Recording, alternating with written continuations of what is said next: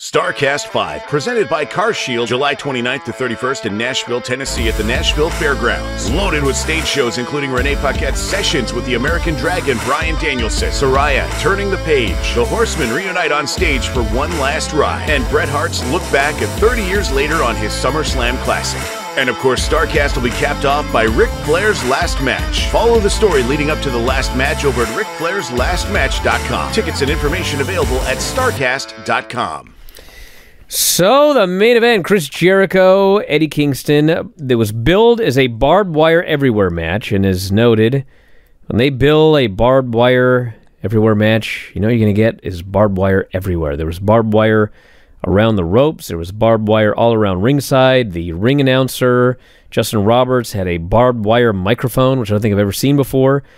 And uh, Jericho comes out as the Painmaker. The heels are put in the shark cage. Ruby's there at ringside controlling the shark cage.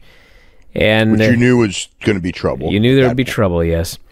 So uh, they killed each other. And they also pointed out that she had she had the key as well. Yep. So uh, I mean, Jericho bled immediately after getting hit with the barbed wire microphone, and then Kingston is bleeding shortly thereafter. And I don't know if some or all of the barbed wire was real, but absolutely some of it was because they're stuck to this barbed wire. Jericho's hair is stuck in it, his shirt is stuck in it, it's getting punctured.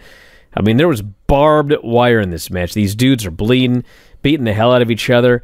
And then, of course, Tay Conti runs out and she attacks Ruby Soho. Anna Jay runs out supposedly to make the save, but then she turns on Soho, and her and Tay Conti are back together, which was set up last week when Tay did the interview and told her she needed to do better or whatever her line was. So Anna Jay gets the controls. They lower the shark cage, and uh, Tay gets the key, and she can't unlock the door. And she tries and she tries. I'm like, take the camera off her. But they won't. They just show her trying to get this. So finally, she gives the the key to one of the heels so he can try. But then I think it was uh, Matt and, and Jeff, or they're already climbing their way out of the cage. Well, they, they went they went through the, they went through the cage because yep. they knew that this was way too goofy, and they needed to get to and they needed to get to the ring. And quite frankly, I mean, they got out. I mean. They, they got out. They, they wouldn't have been able to get out if it were suspended, but they lowered it. So they all get out. They hit the ring. They start beating on Eddie Kingston. Jon Moxley, Ortiz, Claudio, they run out. We got a wild brawl all over the place. And uh, Kingston hits the back fist after everyone's gone. He uh, gets a near fall. Then he grabs out what they called razor wire and he wraps it around his arm for the stretch plum. And as Jericho's about to submit, outruns Sammy Guevara First time he's been on the show since being tossed off the cage. Super kicks Kingston. And then, because uh, Kingston had wrapped the barbed wire around Jericho for the stretch plum, Jericho's got the barbed wire wrapped around him. He hits the back elbow and he gets the pin. So uh, at that point, there was like seconds left of TV time. So Kingston very rapidly grabbed Jericho, threw him off the apron onto a barbed wire board and then Jericho sold it big as the show went off the air. So Kingston. Jer- Jericho did a stretcher job after it went off the air. I'm not surprised. It was, and there was another spot. I can't remember what the spot was, and uh, you know maybe it's fine, but they did some spot and it looked like he got a barbed wire barb to the nose because he's checking his nose afterwards, and he, and he was. Bleeding. I was afraid. I was afraid it was the eye which which you know it, he sold it kind of like it was his eye but then after whatever near fall it was i mean he was definitely checking like the bridge of his nose like maybe his nose had been broken or there was a puncture wound there or something but god damn this match between this match and the opener this is the most violent pro wrestling show i've seen in i don't even know how long yeah. golly yeah um it was something um i mean the main event was wild as hell you know it was what it was advertised to be.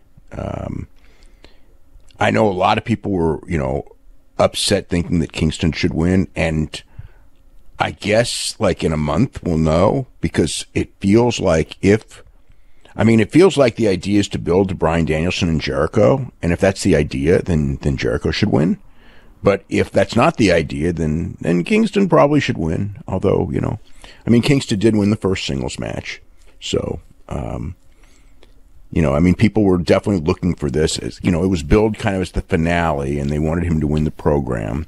But um, you know, if Danielson is going against uh, Jericho, and that's a big match on the pay per view, then then Jericho probably should win have won here. You know, um, I know, and rightfully so. You know, people were upset about the interference because it did feel very WWE. You know, where you have this match, you pretty much promise no interference and you have nothing but interference. You know, it's kind of like, okay, so the shark cage certainly means nothing because we've already, you know, shown that it means nothing. But I guess that shark cage probably is only going to be used once. Maybe next year, maybe next year they'll do it and uh, people will forget or something. But uh, um, I mean, it was a wild. It was a wild show. Um, and like ne- you know, next week they they announced two matches, and it's um, Rosa against Yamashita, and uh, what was the other one?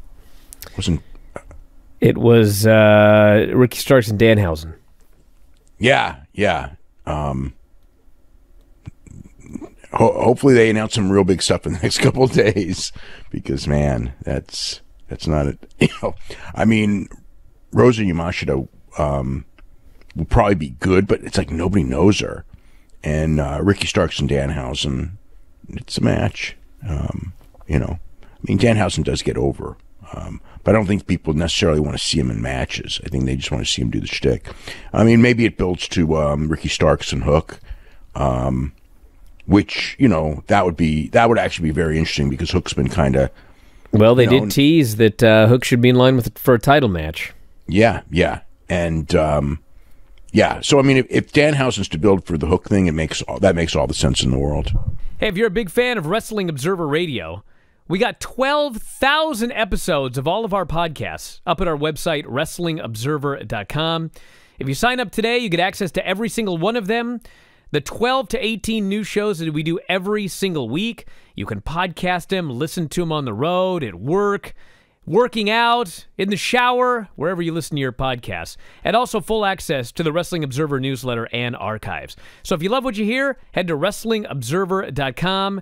12,000 audio shows at your fingertips.